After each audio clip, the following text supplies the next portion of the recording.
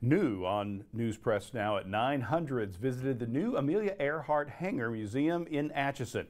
And uh, that's on its opening day. To learn about her life in a creative way, many community members gathered at the Amelia Earhart Memorial Airport to pay tribute to the finished project, including area children, students from Atchison Elementary, Trinity Lutheran School, and St. Benedict's Catholic School. They all joined together to sing the national anthem during the dedication. The kids were excited to be part of a truly special day for the Atchison community. Soar like Amelia! Very, very pleasant because I would be like one of the only people in the world to experience the first opening of the Amelia Earhart Museum. Amelia Earhart means a lot to me. Uh, she did grow up here in our hometown of Atchison, and it's just really cool to come out and see all they've accomplished through the past five years of putting in their hard work into this museum. Good for them. The museum is now open to the public, but before it opened this afternoon, News Press Now got an exclusive look at the new attraction. Our Riley Funk reports from Atchison, Kansas on what patrons can expect. Atchison, Kansas now has a main attraction in honor of its most famous icon, Amelia Earhart. Located at the Memorial Airport named in her honor, patrons will have the opportunity to walk through the various stages of Amelia Earhart's life. The museum also allows people to learn more about science, math, engineering, and technology.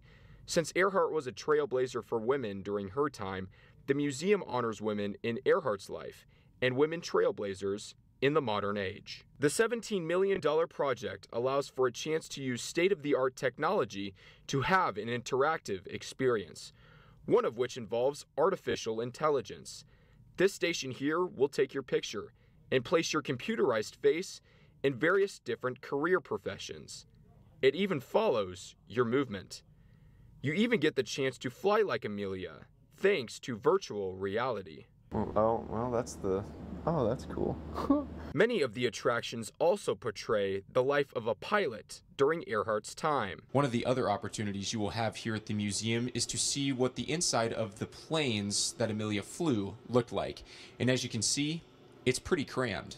Just like the cockpit being small as well, the windows that pilots had to look out of to see were small as well. The museum also offers the many theories of Earhart's disappearance for all to see. The last leg of the tour will bring you right here where you can personally vote for which theory of Amelia's disappearance you believe in. Let me show you how it works. You go to this interactive screen and click Vote Now.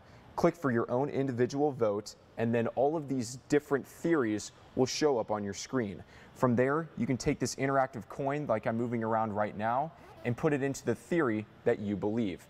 From there, all that come through, every patron, every vote will be counted up and the theory results will show right here on the screen. This museum truly is something to behold and experience. People from all across the area are encouraged to come here and enjoy this one-of-a-kind museum. Reporting from Atchison, Kansas, and with Amelia Earhart, I'm Riley Funk, News Press Now. Thanks, Riley. The museum is located at the Amelia Earhart Memorial Airport. It's closed on Monday and Tuesday, but open Wednesday through Saturday from 10 a.m. to 5 p.m. and on Sunday from noon until 5 p.m. We have more on this story on our website at newspressnow.com.